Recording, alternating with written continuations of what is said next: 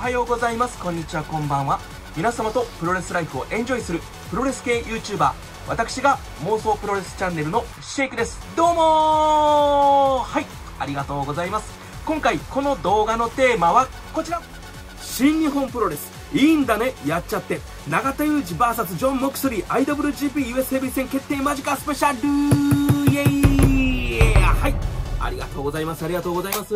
今回この動画のテーマはついについについに決定間近でございますえー、ジョン・モクスリー VS 永田裕二 IWGP US ヘビー戦という形でございます。えっ、ー、と、本日のトースポウェブにて、えー、永田選手がモクスリー選手の対戦表明を受諾したとの記事が出ておりました。ね。えっ、ー、と、永田さんが久しぶりにあのセリフを自分の口から言ったと。いいんだね、やっちゃってっていう言葉が出ましたと。ね。えっ、ー、と、まあ、こちらに関してなんですけども、まあ、皆さんご存知ですよね。うん、モクスリー選手が、えー、永田選手に対戦表明を行ったというのは。うん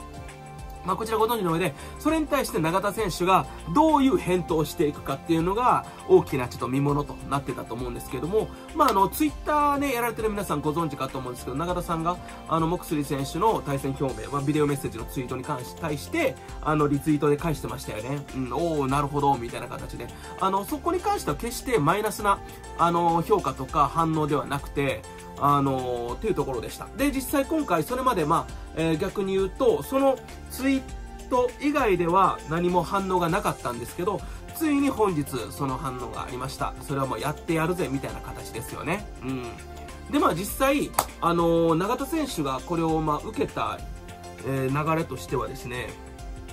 まあ、なんて言うんでしょうね。あのー、やっぱりこれまで、いつでも、あの、自分自身は、なんて言うんだろうな、そういった、えー、機会を与えてくれれば、いつでもできる準備をしていたっていうのも、ここ最近のね、あのー、充実ぶりを見てると、もう本当それはもう分かる次第ではあったんですけれども、うん、ただですね、やっぱりこの、あのボックスリー選手に対して言ってたのが、見る目があると。うん。まあ、しっかりトレーニングを続けて試合ができる人間を見極めるのが鋭いねと。面白い選手だと。躍動感あるファイトをしてるなって感じで興味はあった。いつかやりたいけど俺にチャンスはないのかなと思ってたよっていうのがあって。まあ、とは言ってもね、あのー、やっぱり自分自身の生涯のライバル、ライバルである、あの、鈴木みのる選手と激アツの戦いをしたっていうのは絶対ね、永田選手知ってるはずなんですよ。うん。やっぱり自分と同世代の鈴木みのる選手が、やっぱり今もトップ戦線でやってるし、モクスリ選手と激アツの戦いを繰り広げてた。うん。っていうのも、見てた永田選手からしたら、くそ、負けてたまるか、俺もいつかはっていう形でずっと刀を研いでたと思うんですよ。ね。あのー、モクスリー選手は、あの、永田選手にお前のリボルバーを持ってこいよっていう形で、まあ、お互いガンマンみたいに打ち合おうぜっていうのを、あの、西部劇に例えてね、あの、言ってたと思うんですけど、永田選手はリボルバーじゃないと。おそらく日本刀なわけですよ。ね、そこはやっぱり大和魂持ってるんで。その刀っていうのを、いつでも相手を切れるように、技も磨いて、そして刀も磨いてきたと。うん。だからこその今回のチャンスをゲットできたと思うわけですよ。まあ、ここ最近今年ないって永田選手もね、あの、シングル、の充実ぶりっていうのはもう皆さんご存知の通りだと思うんですけども、いざという時にはちゃんとした、あの、やっぱトップの戦いができるっていうのはもう皆さんご存知の通り。そしてそのことは新日本プロレスの上層部の方も、そしてモクスリー選手も知っていた。だからこそ全てが合わさってこのタイミングで行われたと思うんですよ。うん。いや、これはだからほんまにチャンスで、しかも、これ永田選手にとってすごく、まあ、ラッキーというか、うんと、まあ、風が吹いてるなと思ったのが、次のシシリーズ、あの、ドンタク、レスリングドンタクシリーズで、あの、まあ、明日っすよね、4月10日から、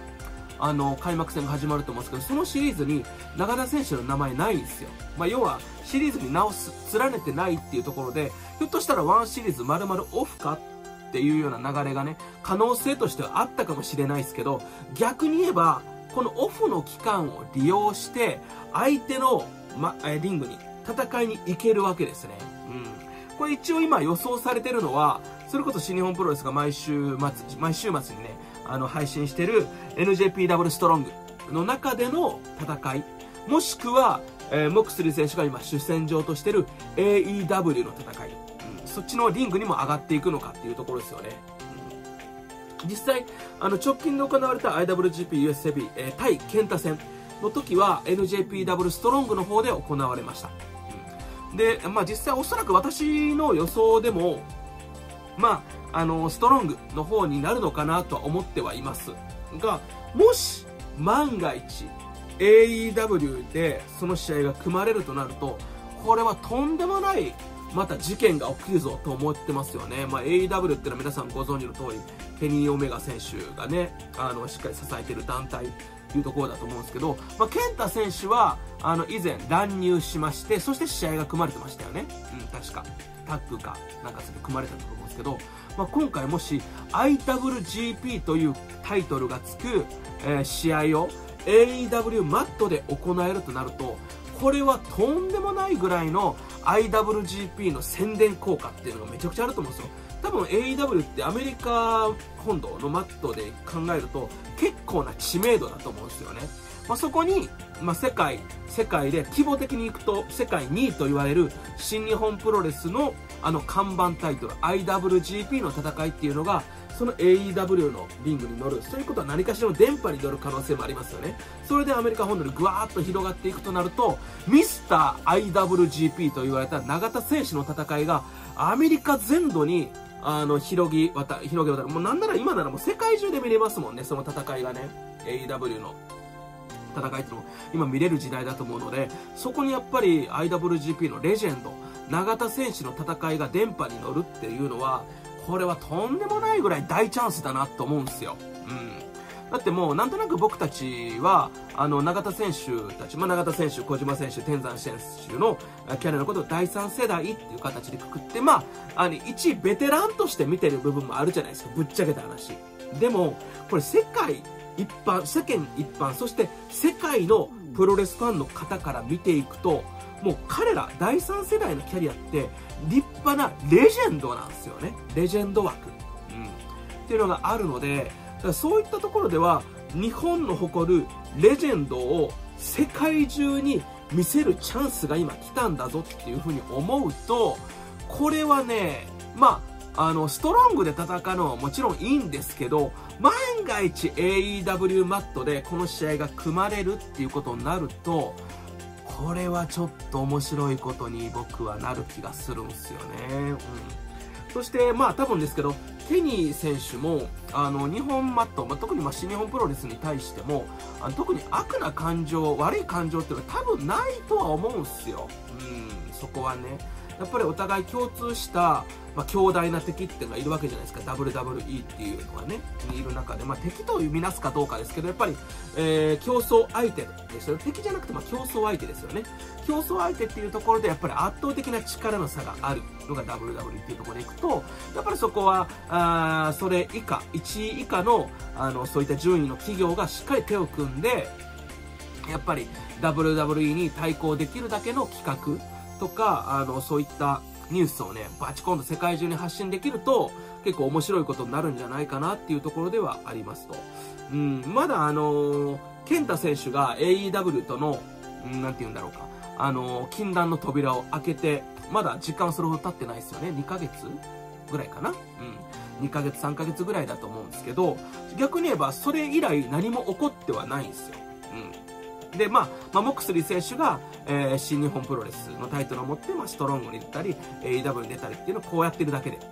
でもそういう風にできる選手、まあ、健太選手がスポットでやってましたけど、ここに対して、やっぱり新日本の所属、レスラー、まあ、特にもう生え抜き、あえて言いましょう。この時代ですけど、生え抜きのレジェンドの永田さんがそれを行っていけることで、えー、新日本プロレスの価値、永田選手の価値、ひいては IWGP の価値っていうのを大きく世界中に伝播できるチャンスがある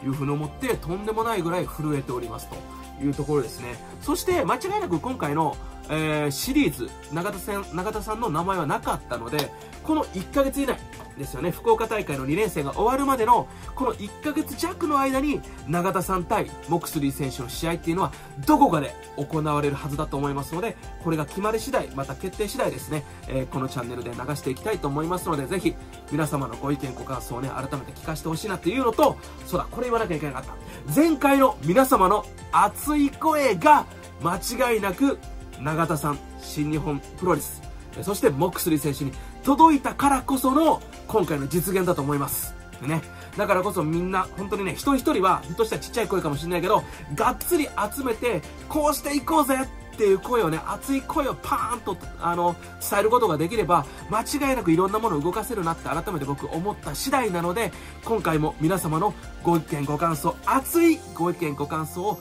今回このコメント欄でも聞かせていただければと思いますので、よろしくお願いいたします。えー、皆様のお気持ちはいかがだったでしょうか？ぜひ皆様のご意見をこの YouTube のコメント欄、Twitter のコメント欄、Twitter の DM 欄までどしどしとお寄せください。そしてこの動画で扱ってほしいテーマっていうのも随時募集をさせていただいておりますので、えー、この YouTube のコメント欄でも Twitter でも構わないので送ってきてください。この団体の、この選手について、この団体のこの出来事についてっていうのをですね、えー、直接どしとぶつけていただければ、ちょっとお時間はいただくかもですけれども、必ず形にして皆様にお届けしたいと思っておりますので、これからも皆様、この動画のリクエストをよろしくお願いいたします。そして、忘れちゃいけない高評価ボタンとチャンネル登録ボタン、こちらもポチポチと押していただきまして、これからもこの妄想プロレスチャンネルのシェイクについてきていただければと思っておりますので、皆様どうぞよろしくお願いいたします。はい。というわけで、最後まで見ていただいた皆様、どうもありがとうございました。